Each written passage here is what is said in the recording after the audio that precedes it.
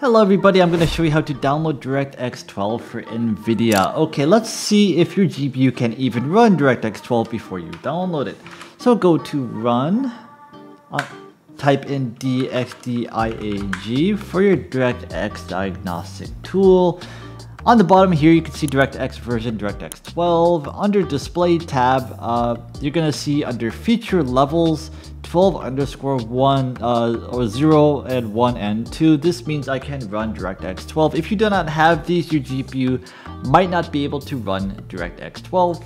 If it can, uh, it is included in the Windows update. So go to settings, Windows update, check for updates and install any Windows update and that should automatically install the Windows or the DirectX 12 if you want to install it uh, manually, you can. I'll put a URL in the video description below, but it'll bring you to Microsoft.com.